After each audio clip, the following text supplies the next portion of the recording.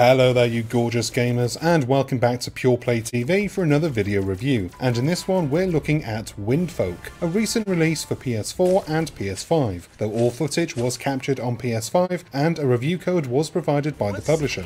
This video is brought to you by our network sites pureplaystation.com, check them out.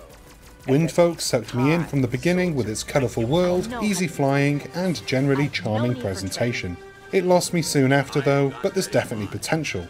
Windfolk puts you in the jetpack of a young lady called Essen, who is a rebellious type, always breaking the rules. The world is split between the goodies and the baddies, and the fight is over a natural resource called Tridion. The baddies want it, you've got to protect it. Simple, and honestly, that's about as deep as the story goes. You begin with a short tutorial to show you the ropes of flight and combat, and I was initially quite excited. Flying was fun, and it reminded me of playing the Harry Potter games on the PS1, as you have to fly through rings in a set course. Combat on the other side was a bit of a letdown. You have a really large reticule, and the idea is that the closer to the centre your target is, the more damage you will do.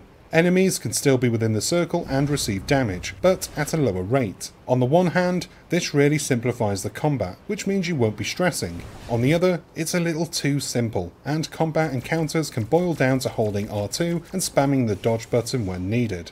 It's not very satisfying then, and it's certainly an area that could be improved upon if this weird little game were to get a sequel. Windfolk is a game of two halves. One half is the story mode, which takes you through 8 missions that aren't all that exciting. It's more of the same after the third level, and it's marred by repetition, though the flying around is really fun.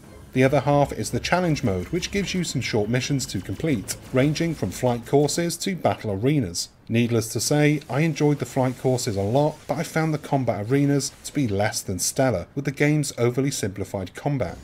There are a few oddities with Windfolk too. The game comes from Spanish developer Fractal Fall, and some of the Spanish has slipped into the English version of the game. That's not a problem, mind you, but it's just weird to see the leaving the mission area warning in Spanish, and perhaps suggests a lack of polish that would have been afforded to a bigger Sony release. Because make no mistake, this is a Sony published PlayStation exclusive after all, and one would expect a little bit more polish even if it's not a first party studio producing the game. I had high hopes for Windfolk and they've only been half met. The game's world is bright and colourful, and that's something I'm always a fan of, and the flying mechanics are really good too. Unfortunately, the boring story, the boring voice acting, and the boring combat let it down massively. And that's the end of this review. I hope you enjoyed it and found it useful. If you did, please do us a favour and go down below, hit the like and subscribe buttons, and don't forget the bell icon too, so that you're notified whenever we have new stuff. I've been Chris, you've been gorgeous, and I'll see you on the next one. Until then, until then, bye bye.